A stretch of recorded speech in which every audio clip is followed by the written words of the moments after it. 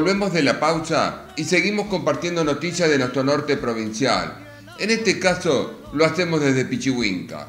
El pasado viernes 31 de marzo se realizó la cuarta vendimia en el Centro Educativo y de Producción de esta localidad. Con la concreción de su cuarta vendimia, la localidad de Pichihuinca logró demostrar que con esfuerzo y trabajo los resultados llegan. Que tuvieron la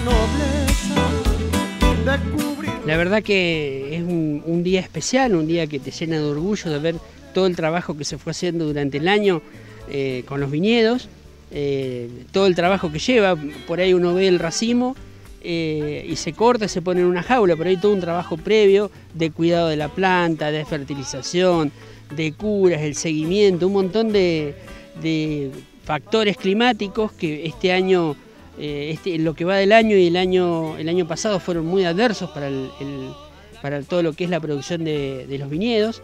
Eh, como se sabe a nivel nacional, las heladas hicieron un desastre de un tamaño gigante. A nosotros acá también nos afectó un poco las heladas, eh, los grandes vientos que hubo en primavera, tuvimos una granizada muy fuerte. Bueno, todo eso hizo que, bueno, hoy en día tengamos una buena vendimia, pero tal vez con un rinde menor al que teníamos eh, pensado. Así que bueno, ahí estamos seguimos trabajando, ya estamos planificando lo que va a ser el año que viene, que ya creo que se va a incorporar algún lote más de, uva a producción. y bueno, como te decía, es un día muy especial, es la cuarta vendimia que, llevamos, así que muy contentos. De viva rama, en Lo que fue en su momento un sueño en la mente de algunos, hoy es una realidad que deja estampada su marca en cada etiqueta de vino que se embotella. En el florece la vida. La calidad de la uva mejoró, la vemos más sana. Eh, eh, más, más armónico el, tamaño de los, de los racimos, pero bueno, como les decía, también menos racimos de las plantas, entre el viento y el granizo tiraron muchas flores, así que eh, bueno, a, ver lo que sale para este año de vino, creemos que va a salir de mejor calidad, la calidad va mejorando año a año de producción, ya vamos por el cuarto año, así que eh, expectantes ahora con, con la elaboración del vino. En este emprendimiento vitivinícola, los trabajos son realizados por un equipo de cinco mujeres. Lo hacen con mucho orgullo y están felices de trabajar en un lugar que a diario pueden ver el crecimiento de los viñedos y de la producción del primer vino del norte de La Pampa. Sale, bueno, las vemos trabajando en lo que son los viñedos de Pichihuinca. Contame un poquito, bueno, primero sobre este momento, Contame un poquito. Bueno, estamos muy contentas porque pudimos lograr la cosecha de este año, con muchas expectativas, así que eh, para mí es mi segunda cosecha ya, eh, la de ella es la primera, pero bueno, felices acá por lograr. Se trabaja para llegar a esto que estamos viendo hoy la cosecha todo el año, contame un poquito el trabajo. año, estamos todo el año trabajando, eh, hacemos mantenimiento de limpieza, el cuidado de las plantas de las uvas, todo, en general, o sea, desde que la plantamos hasta que se cosecha. Eh, por ahora se cosechan estas, que son la de, la de mm, las más viejitas vendrían a ser, y bueno, más adelante tendremos las otras nuevas que, hemos estado eh, plantando durante todo este tiempo.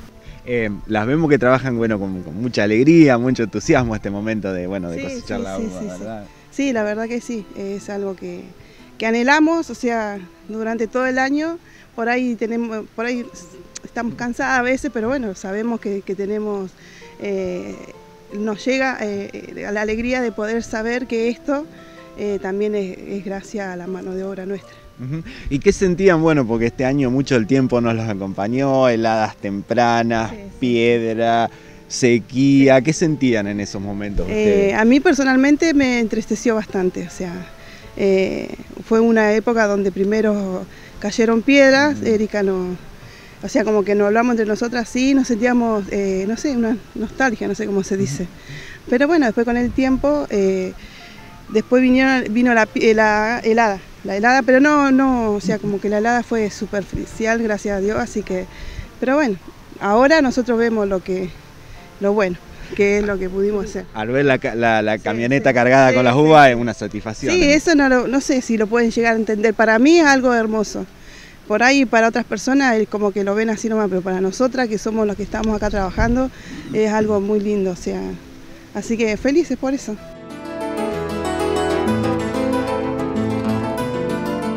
yo recontenta, en mi primer cosecha, eh, empecé el año pasado, eh, la verdad que pensaba que no me iba a gustar este trabajo porque era media rica con la tierra, pero la verdad que a mí me ayudó mucho eh, poder trabajar la tierra, ver sus frutos, Em, la verdad que me sirvió mucho para mi mente, eh, despejarme un montón, así que re contenta con lo que podemos lograr.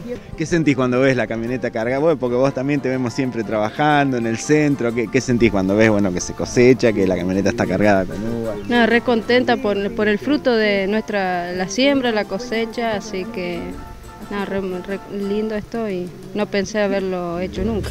Quiero brindar con el bien eh, lo llevan con mucho orgullo, ellas son tan felices de trabajar acá, eh, de estar todos los días participando del crecimiento de los viñedos.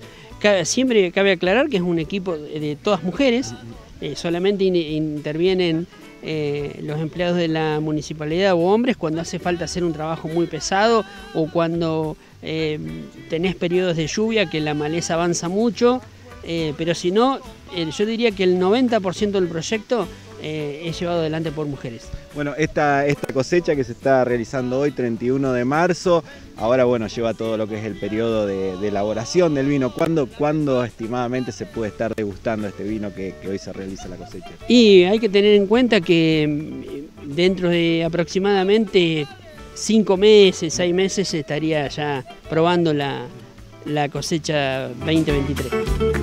¡Viva Cuyo, compadre!